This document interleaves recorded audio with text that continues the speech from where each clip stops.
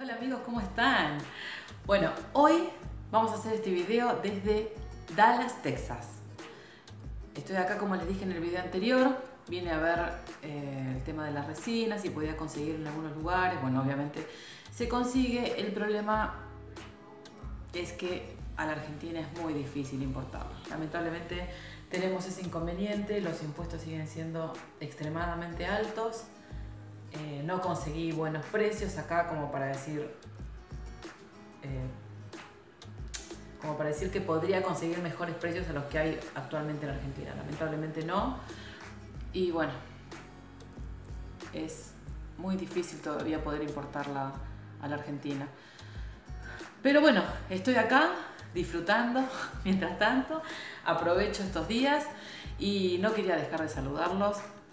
Eh, y hacer este video que mm, me parece muy importante porque es un tip, lo que le voy a dar, sobre uno de los errores más comunes que se cometen con la resina y quiero que lo vean, les voy a mostrar porque también hay muchos videos en YouTube en donde este error lo cometen continuamente y lo muestran en los videos. Y es un error que figura también en las especificaciones de la resina epóxica que no se debe hacer. Pero bueno, todos lo hacemos, me incluyo porque lo he hecho también, he cometido este error. Entonces por eso quiero dejárselos en claro, quiero que lo aprendan, que lo sepan y que lo tengan siempre presente para no volver a cometerlo, porque em, es muy importante no perder dinero en esto. O sea, por eso siempre les aclaro, practicar, practicar y practicar antes de ponerse a hacer un piso. La resina es fácil para trabajar, pero a la vez necesita práctica. Es como no digo peligrosa, pero es terrible.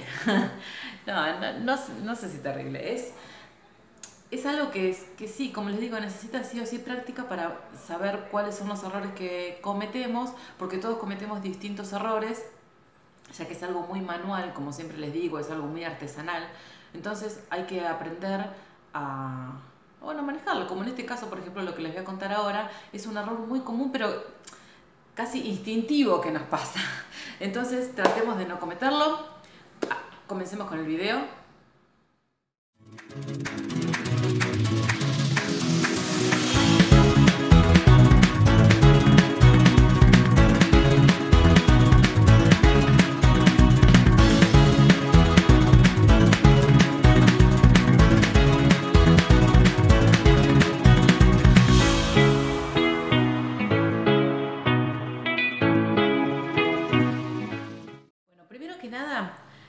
Mostrarles algunos cortitos sobre algunos videos de, que existen en YouTube actualmente. Son unos trabajos espectaculares hechos, es la realidad. Muy lindos trabajos, pero cometen en la mayoría de los casos, o por lo menos los que encontré hasta ahora, este tipo de errores que les voy a contar. Entonces quiero que primero lo vean y después les voy a pasar a, a explicar bien cuál es el error y cómo no cometerlo, obviamente, ¿no?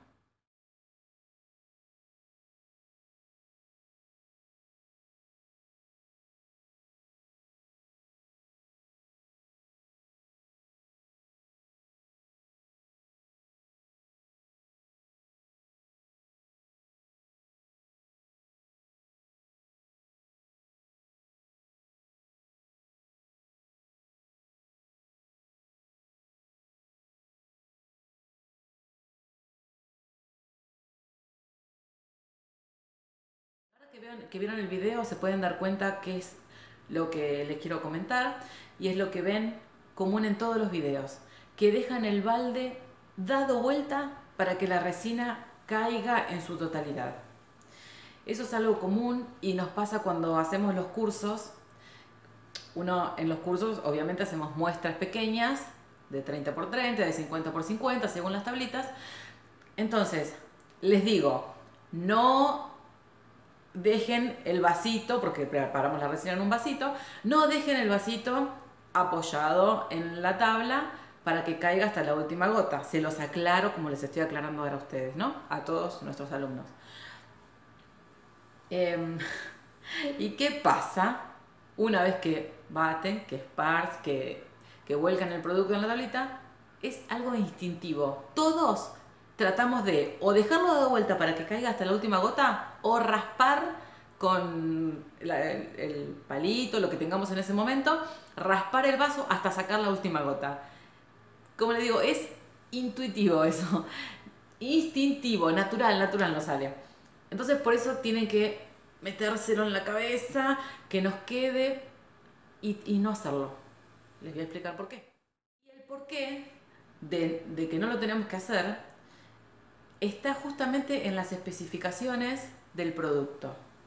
En la marca Repsolium trae una cartilla con, el uso, las aplicaciones, todo de la, resina epóxica y dice específicamente que no hay que verter hasta la última gota. ¿Por qué es esto? Uno cuando está batiendo o mezclando la resina con el agente catalizador, nos vamos a dar cuenta que el producto se levanta o puede suceder que no se mezclen en su totalidad o que queden en los laterales tanto resina como agente catalizador por separado, como cualquier mezcla. Mezclamos, pero en los bordes, al, al subir el producto, quedan en los bordes y no alcanzamos a mezclar todo. Eso nos pasa tanto manualmente con una pequeña cantidad como con un galón, como con cuatro galones, mezclándolo con una máquina. Es exactamente lo mismo. Los productos cuando recién lo ingresamos, cuando ingresamos el agente catalizador con la resina epóxica, nos vamos a dar cuenta de que quedan separados, como si fuese el agua y el aceite. En un primer momento. Una vez que empezamos a mezclar, sí se unen los dos componentes. Pero bueno, en ese primer momento y mientras estamos mezclando, chocan las paredes, el producto por separado, entonces quedan. Cuando uno em, aplica el producto, ¿no? Esparce todo lo que tiene dentro del galón o en el envase que tengan, esparce el producto donde lo va a aplicar. ¿Y qué pasa? Si dejamos verter todo o raspar el envase, vamos a, raspar tanto resina epóxica por un lado sola o agente catalizador solo. ¿Qué significa esto? Que la resina nunca se va a endurecer.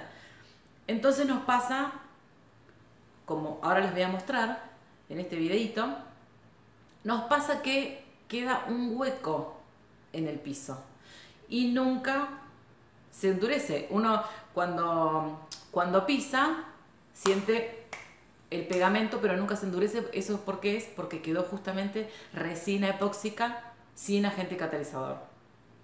Y pasa justamente por haber dado vuelta al balde y haber querido ocupar hasta la última gota.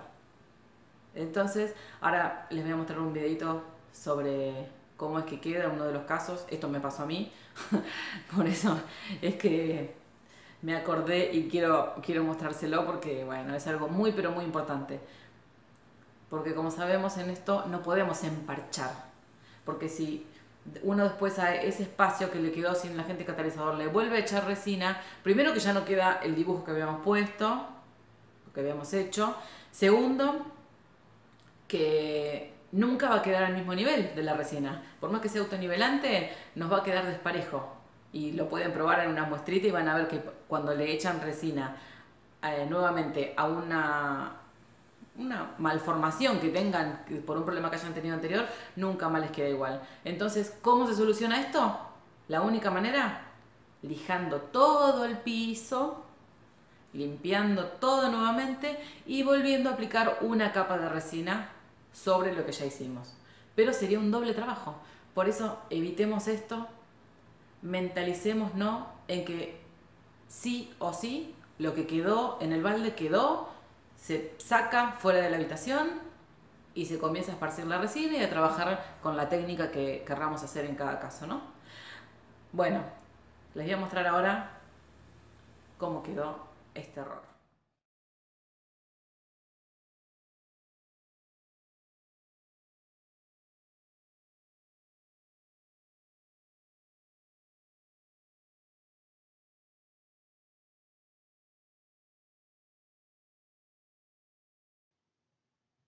Acá podemos ver lo que les estaba contando hoy.